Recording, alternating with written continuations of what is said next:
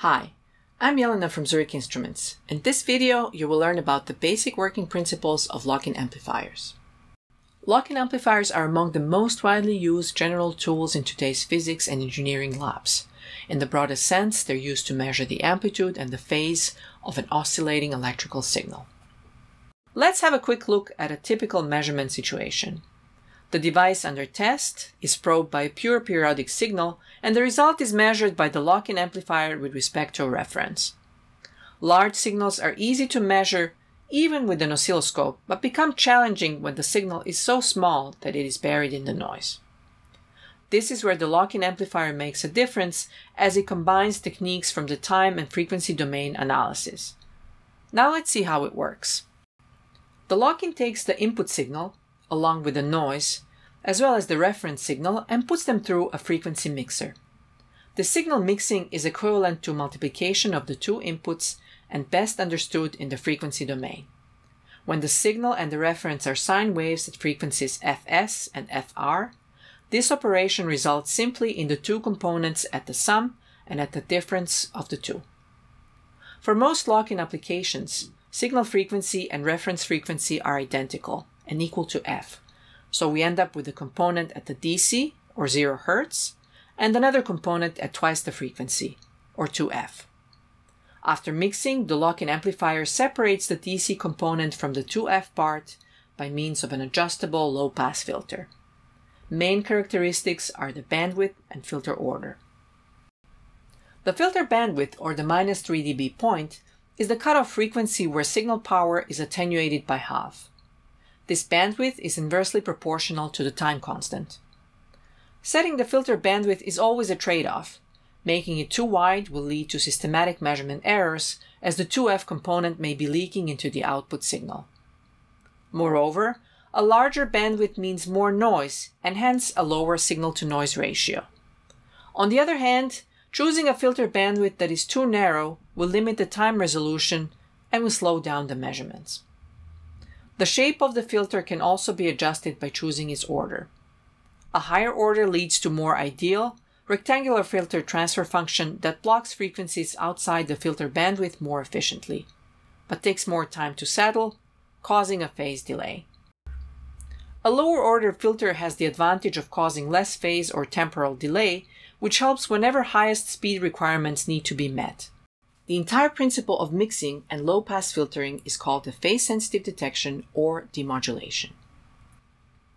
In order to understand the whole demodulation process of mixing and subsequent filtering for non-sinusoidal signals, we can make use of the Fourier theorem. It states that every periodic function can be expanded as an infinite sum of linear independent functions of sine and cosine terms.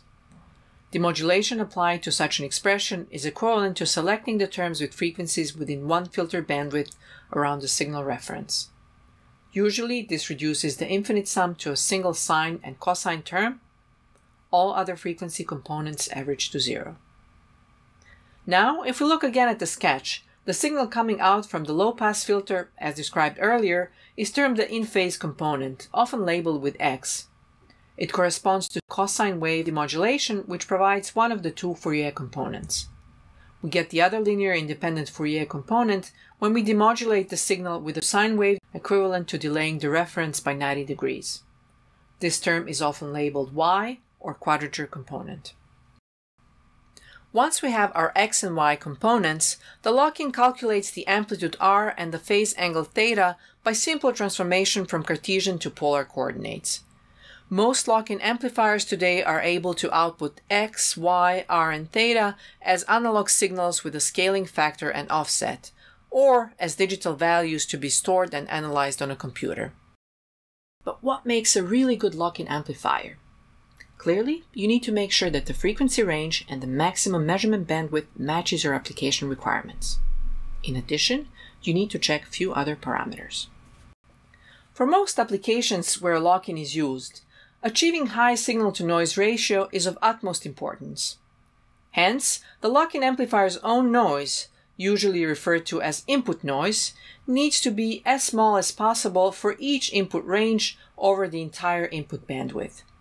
Here is an example of a lock-in with an input noise of only 2.5 nanovolts per root square hertz, with 1 over f component picking up at 100 Hz down to lower frequencies.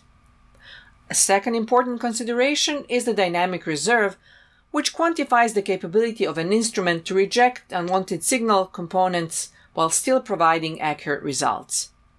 With a dynamic reserve of 120 dB, for example, you can measure a 1 microvolt signal with a specified accuracy of 1% with a nearby disturbance of up to 1 volt.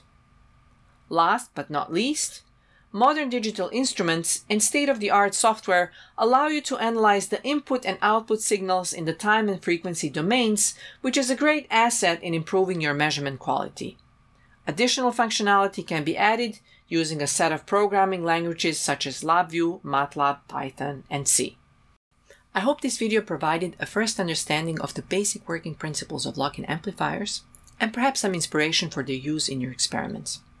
For more detailed information, please check out our white paper and contact us directly to discuss your application. Thanks for watching.